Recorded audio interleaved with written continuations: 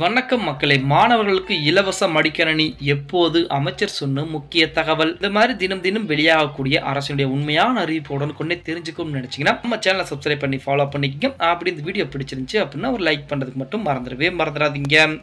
அதாவது தமிழக அரசு பள்ளிகள் அரசு நிதியுதவி பெறக்கூடிய பள்ளிகளில் மேல்நிலை வகுப்பு படிக்கக்கூடிய மாணவ மாணவிகளுக்கு கடந்த ரெண்டாயிரத்தி பதினொன்றாம் ஆண்டு முதல் இலவச மடிக்கணியானது கொடுக்கப்பட்டு வருது.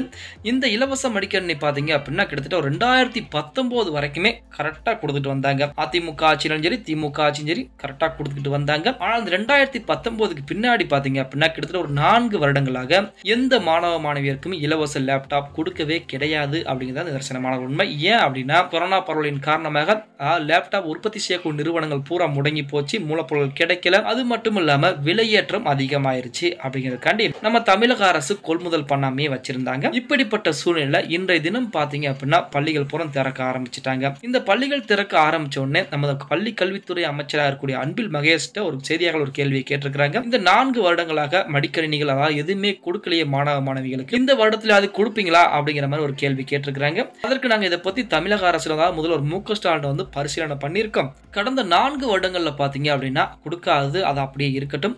அது அப்படின்னு உங்களுக்கே தெரியும். கொரோனா பரவல் காரணமாக விலையேற்றம் இது பூரானால கொள்முதல் பண்ண முடியல. இதனால தமிழகத்தோட நிதி நிலைமையும் கொஞ்சம் சரியில்லாமல் இருக்குது. சரி அது கொஞ்சம் சரியானதுக்கு அப்புறம் இந்த வருடத்தில் கட்டாயம் மாணவ மாணவிகளுக்கு இலவச மடிக்கணியானது வழங்கப்படும் அப்படிங்கிற மாதிரி ஒரு தகவலை பள்ளி கல்வித்துறை அமைச்சர் கூடிய அன்பில் மகேஷ் அவர்கள் சொல்லியிருக்கிறாங்க. ஆனால் இந்த கடந்த நான்கு வருடங்கள் கொடுக்காத மாணவ மாணவிகளுக்கு கிடைக்குமா அப்படிங்கிறது சந்தேகம்.